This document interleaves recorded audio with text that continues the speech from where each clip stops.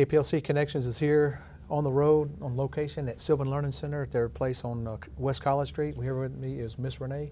And Miss Renee, I know you've been helping kids do better in school for 30 years now in Lake Charles. Why do you guys love it so much? Oh, uh, first of all, welcome. Uh. I'm so glad you got to come and visit and spend some time with us here. Um, Yeah. We usually go to you, but I'm so glad you got to, to see. Everybody gets to see. You. Like a little kid again at the Absolutely, and your desk and your chair. We're going to teach you a lot of things today, and you're going to teach us. How's that? That sounds great. Mutually, we'll learn. We have been working with students, as you said, for 30 years uh, here in Lake Charles. We've had that honor of, of serving Imperial Calcasieu area and all the schools and the school systems in this five parish area. Um, and of course, it, it's a wonderful opportunity because uh, I- really feel like we make a difference in parents' lives and children's lives.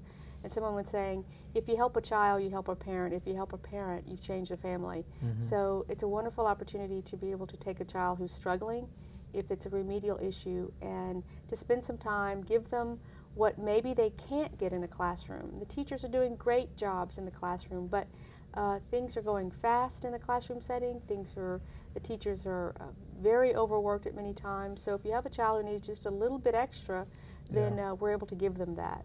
So it's, Okay. Well, tell, tell me, uh, I understand you guys have gotten into satellites. What's that about? I'm not going to send you to the moon, Kevin, so it's Oh, okay. Okay. But now that we're now that Sylvan is uh, has most of its programs on a, a device or a tablet, and although we do have lots of books still as resources, and I think we'll always will, so many of our lessons, our individual lessons, are on iPads, Mhm. uh, which means we can now take the lesson to the student. So we're setting up little community opportunities to go to places where um, students um, will gather and we will have enrolled students there. So we're looking at several of the libraries in the outlying areas. We're also looking at um, uh, the YMCA. We're looking at um, going and working with the different Boy Scouts and Girl Scouts on different programs, as well as Boys and Girls Clubs. Uh, so we're able to take our programs and go to them versus them always having to come to us. So it's a, we're just getting started. The program that Sylvan does is the same. It's just we may be doing it from a different location. So Okay.